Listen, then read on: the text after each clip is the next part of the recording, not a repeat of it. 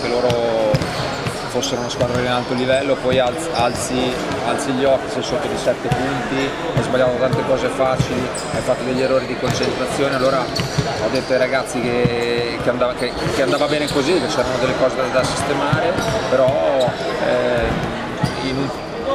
processo di crescita di cui io parlo sempre, ci stanno anche queste partite qua in cui non fai magari sempre canestro, in cui fai degli errori banali, quello ci può stare. Poi nel secondo tempo ancora peggio perché comunque abbiamo iniziato molto male e poi pian pianino dalla difesa abbiamo reagito e quello deve essere il nostro marchio di fabbrica. Noi, io sono convinto che anche se siamo una squadra di alta qualità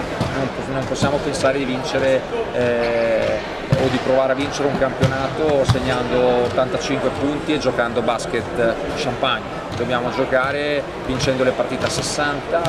eh, menando in difesa, facendoci menare senza fare una, eh, una piega, andando avanti, cosa che nel secondo tempo abbiamo fatto. Sì, perché forse venivamo da una settimana un po' particolare, primo perché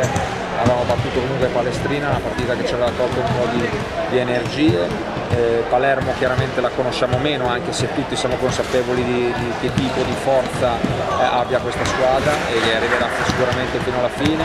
E quindi eh, abbiamo avuto diversi problemi fisici in settimana, quello di Marcello ma anche eh, influenze varie che hanno eh, condizionato molto la settimana, siamo allenati poco e sinceramente anche male. E quindi mi, era insomma, una preoccupazione in più, il fatto di averla vinta in questa maniera qua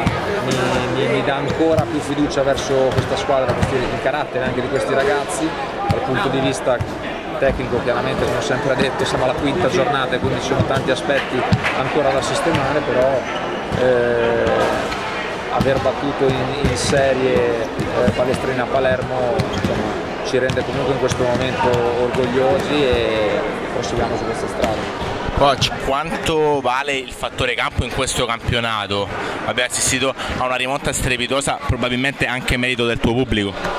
Sì, quello sì, anche se fa ridere un po' dirlo, eh, perché all'Eurobasket insomma siamo, siamo, questi, siamo il settore giovanile, eh, i, i, parenti, gli amici, fortunatamente si sta affacciando anche qualche, qualche tifoso che,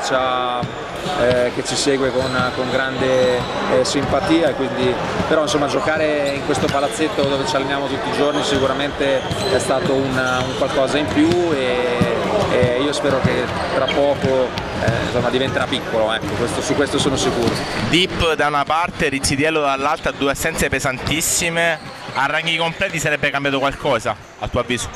Beh, metti due giocatori una certa importanza sia da una parte che da quell'altra,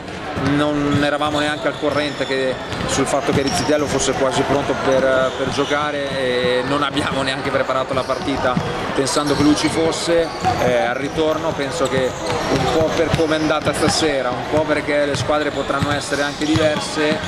vedi per Rizzitiello, eh, ci sarà molto da, da soffrire.